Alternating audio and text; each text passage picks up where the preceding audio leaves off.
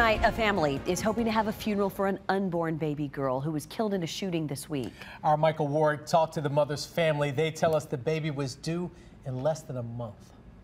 This woman's family tells me she is still being treated here at the hospital and is understandably devastated at what happened. Her sister in law, Sherry Johnson, tells us the victim is Shay Beard, left with only keepsakes of her daughter's hand and footprints. The would be mom was shot Tuesday night after an argument between two groups of people when someone fired at the car she was riding in. Police say the unborn girl died from the shooting. It's the second time Sherry says her sister in law has had to deal with the loss of a child. For baby Iceland, she was really excited about this pregnancy. It was like a second chance for her. And then for this to happen, it's, it's just traumatizing. It's like she lost her son all over again.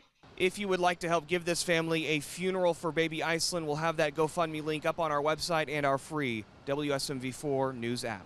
Michael Warwick, WSMV4.